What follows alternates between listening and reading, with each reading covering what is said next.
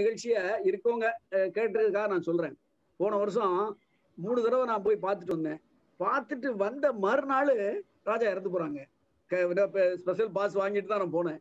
அப்போ வசந்தி ராணி தான் எனக்கு ஃபோன் பண்ணி இங்க ஒரு அஜித்னு ஒருத்தர் இருக்காங்க ராஜாவுடைய பேரை வேணும். அவரை வச்சு என்னைய கூட்டுற சொல்லிட்டாங்க. இல்லைன்னா எனக்கு அந்த வாய்ப்பு கிடைக்கா இறந்த அன்னைக்கு இருந்தேன். அப்புறம் இறந்த அன்னைக்கு மறுநாள் வந்து மஞ்சுநாத் சார்லாம் வந்திருந்தாங்க. மஞ்சுநாத் சார் இருந்தாங்க எல்லாரும் இருந்தாங்க. மறுநாள் நான் அங்க போயிருந்தேன். அப்ப நம்ம குட்டி ராஜா வந்து எனக்கு வாய்ப்பு கொடுத்தாரு.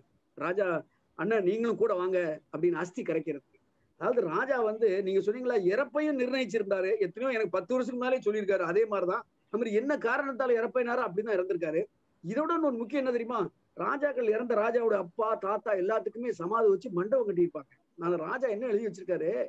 நான் இறந்தா என்னை வந்து த- தகனம் பண்ணணும்னு இருக்காரு அது எங்க? தனி இடம்லாம் கிடையாது. சாதாரண குடிமக்களை தகனம் பண்ணக்கூடிய இடத்துல தான் என்னை பண்ணணும்னு வச்சிருக்காரு. அதே மாதிரி ஆமா என்னுடைய அஸ்தியை எங்க கரைக்கணும்னு எழுதி வச்சிருக்காரு சார். அதாவது தாமரவர்ணி தாமரவர்ணி மணிமுத்தாறு சித்தார் ஒரு மூணு ஆறு கூடுற இடம் முக்கூடல் இருப்பாங்க. அந்த முக்கூடல் பக்கத்துல சின்ன சங்கர கோயில் ஒரு சங்கர கோயில் இருக்கு. அந்த எக்ஸாக்ட் லொகேஷன் தான் மூணு ஆறு சேருது. அங்கதான் கரைக்கணும்னு எழுதி வச்சிருக்காரு. அவருடைய அஸ்தியை. அது போகும்போது தான் எனக்கு குட்டிராஜா தான் எனக்கு அந்த வாய்ப்பை கொடுத்தாங்க. அண்ணா வாங்கன்னாங்க நான் கூட போயிருந்தேன். போனா எனக்கே நான் திருநெல்வேலி மாவட்டத்துல பிறந்து வளர்ந்த அந்த இடம் எனக்கு அன்னைக்கு தான் தெரியும். ராஜா எழுதி வச்சிருக்காரு. எப்பேற்பட்ட ஒரு அதாவது மனிதருள் மாணிக்கம்னு நம்ம படிச்சிருக்கோம். மகாராஜா வந்து வாழ்க்கையில மறக்கவே முடியாது அவர் வந்து அவருடைய அருள் தாங்க இன்னைக்கு நம்ம இதை நடத்தியிருக்கு. நீங்க சொன்ன மாதிரி நீங்க நான் திருநெல்வேலிக்கு வந்தான்னா கணபதி சுப்பிரமணியத்தை பார்க்காம இருக்க மாட்டாரு. அஹ் என்ன மாதிரி என்ன அன்பு சார்? இது அதே மாதிரி ஒரு அன்பு செலுத்துறவங்க யாருமே கிடையாது சார். இப்போ நான் வந்து திருநெல்வேலிக்கு வாரேன்னு சொன்னா ராஜா வந்து போன் பண்ணி மணிமுச்ச மணியாச்சியில இருந்து போன் அடிச்சுக்கிட்டே இருப்பாரு. தம்பி வந்தாச்சா? வண்டி அனுப்பியிருக்கேன். வந்துருங்க. நேரடியாக வந்துருங்க. சாப்பிடுங்க. அப்ப நான் கூட விளையாட்டு சொல்றேன் ராஜா நான் பொண்ணுங்கட்டுற மாமனார் கூட இப்படி இது மாதிரி கூப்பிட மாட்டாங்களா ராஜா? அப்படி அன்பு. வந்து மத்தியானம் சாப்பிட சொல்லுவாரு. அது நமக்கு பிடிச்ச இதுகளை சாப்பாடு சொல்லுவார். இந்த மாதிரி ஒரு அன்பு தூய அன்பு சார். ஆனா இறைவனுக்கு இணையானவர் நம்ம ராஜா. அதனால அவருடைய ஆசீர்வாதம் நல்லபடியா நடந்தது. ரொம்ப சந்தோஷம் ரொம்ப மகிழ்ச்சி. அத்தனை பேருக்கும் என்னுடைய உலகணந்த நன்றியை தெரிவிச்சு இதே மாதிரி வருஷா வருஷம் நடத்தணும் சார். நன்றி சார். ஆமா ஆமா. இந்த வருஷம் இந்த வருஷம் இதை வந்துட்டு அடுத்த வருஷம் எல்லாம் நம்ம நிச்சயமா பெரிய நினைவு சின்னம்லாம் நேர்ல. வச்சு அங்கேயே போய் நடத்தலாம் சார்.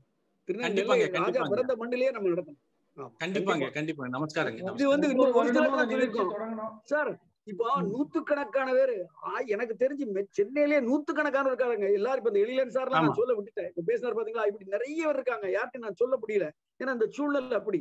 இந்த பெருந்தொற்று நேரம் பெரிய பேண்டமிக்ல நம்ம வந்து எப்படி எப்படி இருக்காங்களோ இன்னொன்னு நிறைய பேரை போன் அடிச்சு கிடைக்கலன்னு விட்டுட்டேன் ஒரு அடிச்ச உடனே நூத்துக்கணக்கான பேர் இருக்காங்க ஆயிரக்கணக்கான பேர் இருக்காங்க. அது ராஜா இது நான் தகவல் தான் சொல்லல அவ்வளவு சொல்ல சந்தர்ப்பம் இல்லை. அவருக்கு ஆமா ஏ அப்பா உயிரை கொடுக்கக்கூடிய அதாவது நான் தான் சொல்லுவேன் ஒரு இதுல எண்பதாயிரம் ஏக்கரை இழந்திருக்கலாம். ஆனா எண்பதாயிரம் இதயங்களுக்கு சொந்தக்காரர். அவ்வளவு பெரிய மா மனிதர் சார். நம்ம வந்து இந்த அரசாங்கம்னு அவன் நினைக்கணும். அதாவது இப்படி ஒரு ராஜா அதாவது முடியரசுல இருந்து குடியரசுலயும் ஒரு முடியரசாவே இருந்தாரு பாரு. முடிய முடிசூட்டின மன்னர் சாதாரண சிட்டிசன் மாதிரி தான் இருப்பாரு சார். எந்த பந்தாவும் கிடையாது. எங்க போனாலும் ஒரு பெரிய ஃபைவ் ஸ்டார் ஹோட்டல் போவோம். போகும்போது அந்த வாசல்ல கேட்ல கதவு திருப்பாரு அவர்கிட்ட நின்று பேசுவாரு. எல்லாருக்கும். பார்த்தா அப்புறம் கொஞ்ச நேரம் கழிச்சா தெரியும் அவன் ஆன்மீகத்துல அதாவது அவர் ஐடென்டிஃபை பண்ணிடுவார் சார். சில ஆட்களை பேசும்போது நான் கூட நினைப்பேன் எல்லாரும் போயிட்டாங்க ராஜா நின்றுட்டு இருக்காங்களேன்னு பக்கம் கூட நிப்பேன். பார்த்தா அவன் போனவனு பின்னால் ஓடிய வந்து அவன் ஆன்மீகத்துல ரொம்ப ஈடுபடுவானா சார் ராஜாவை சந்திக்கணும். அந்த மாதிரி அவருக்கு உண்மையிலேயே அதாவது கோடிக்கணக்கான தடவை பஞ்சாச்சாரம் சொல்லிப்பாரு பெரிய யோகி. ராஜா வந்து பெரிய யோகி. நாலரைல இருந்து ஆறு வரை டெய்லி மெடிடேஷன் பண்ணுவாரு எக்ஸசைஸ் பண்ணுவாரு. பெயர்பட்ட அது நிறைய பேருக்கு தெரியாது. அது அவர் என்ன சொல்லுவாருன்னா நாலரை டு ஆறு விழித்திருக்க வேண்டிய நேரம் தம்பி. அதுக்கப்புறம் கூட தூங்க. அப்படி ராஜா தூங்குவாரு.